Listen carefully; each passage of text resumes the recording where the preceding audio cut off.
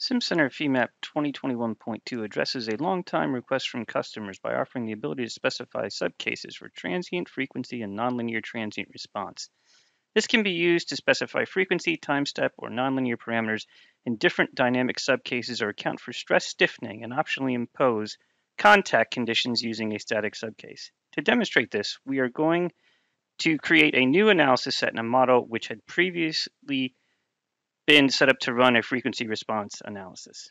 So the first thing we're going to do is we're going to click New, we're going to choose SimCenter Nastran, and we're going to choose Frequency Harmonic Response as our analysis type. We're going to click OK. We're going to come in and open our Options branch, and what we're going to do is we're going to go to our Modal Buckling tab. We're going to click Edit, and we're going to make sure that our solution type is set to modal. Just going to click Next, and we're just going to make sure that we have nothing specified for options for dynamic analysis. And we have no solution frequencies specified in the master case. So we're going to click OK. Now we're going to come down to, to where it says no cases defined. We're going to click New. We're going to choose either frequency harmonic response or static from the drop down. So what we're actually going to choose here is we're going to choose static. Then we're going to click Next. And what we're going to do is we're going to choose a bolt preload from our loads drop down here. And what this is going to do is actually create some contact for our frequency response analysis. We're going to click OK. I'm going to come in here to uh, and just highlight our case number one. This, this time we're going to have analysis type be frequency harmonic response.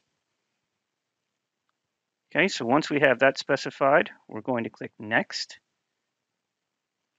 And in here, we're going to go over to our options for dynamic analysis and choose a previously existing modal damping table. Then we're going to come over to solution frequencies and we're going to choose both that we have defined currently in the model. So what this is going to do is, is give us a freq 1 and a freq 4 in our Nastran input file. We're going to click next. And what we're going to do now is we're going to choose our dynamic excitation from the loads dropdown. And then we're going to click OK. Uh, what we're now going to do is go into our dynamic subcase, and we're going to have it reference our static subcase using a stat sub. So we're just going to click on stat sub, click edit, and we're going to choose our static subcase on in the preload subcase section. Okay, so once we have that specified, we're going to click OK. And now we're going to do a preview input.